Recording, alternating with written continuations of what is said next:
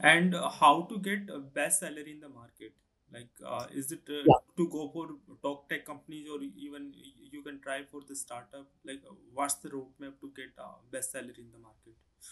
Yeah, so uh, everyone wants best salary because they want to buy the next big, uh, next big thing. So uh, although salary is also important, uh, if salary is a uh, which is some, something that is very important to you, make sure that you're you have offer from offers from multiple companies because that gives you a edge to negotiate with the company that is offering you a job.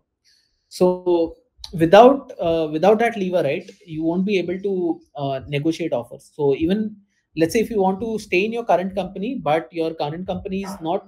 paying you up to the mark because uh, every company has a salary band,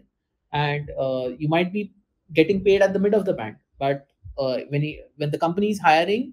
for the same band and it is getting candidates from the uh, from the industry, those candidates might be hired at a salary which is higher than you. So if let's say if you want to stay in the current company you can get a job offer from a different company and uh, if you can negotiate even with the current company saying that you like the job you like the work here you are aligned with the vision of the company or the vision of the organization but only thing that is stopping you for, for stopping you from staying there is uh, the pay. And you have different uh, personal goals for your uh, different personal goals because of which you are making the switch. And uh,